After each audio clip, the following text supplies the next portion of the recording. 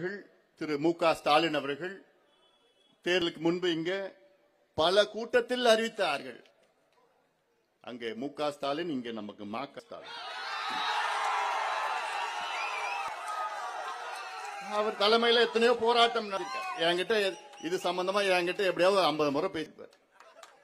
எப்படியாவது எப்படியாவது கொண்டு வாங்க எப்படியாவது இதுக்கு அறிக்கை விட்டுட்டு இருக்கோம். ஐயா அறிக்கை விட்டு லெட்டர் கடிதம் எழுதினா சமீபத்தில் கடிதம் எழுதின அப்புறம் சென்னைக்கு வந்து போராடாரு அடுத்த போராட்டம் என் தலைமையிலே இங்கே கொடுந்தல் இருக்கும்.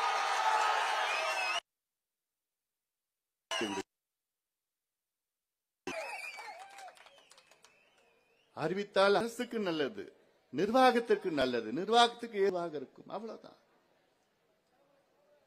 இதை அவசியமானது இது. இது இதனால எவ்வளவு பிரச்சனைன்னு யாருக்கும் வரப்போறது நல்லது இது. ஏன்னா இங்கிருந்து குடந்தையில இருந்து த- தஞ்சாவூருக்கு போனோம் அவ்வளவு தூரம் போனோம். அதை குடந்தை மாவட்டம் அறிவித்து குடந்தையிலே ஒரு மருத்துவ கல்லூரியை கொண்டு வர வேண்டும். இப்போ தமிழ்நாட்டில் முப்பத்தெட்டு மாவட்டம் இருக்கு. முப்பத்தெட்டு மாவட்டத்தில் இருபத்தி ஒன்று இருபத்தி ஒரு மாநகராட்சி இருக்கிறது.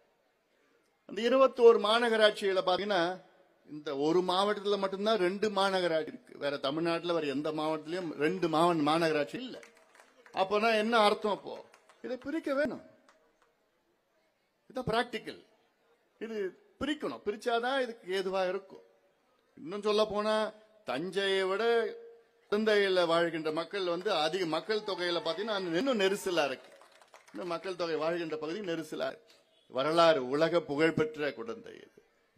பாலு குழந்தையுடைய வரலாற்றை பற்றி அடுக்கிக் கொண்டே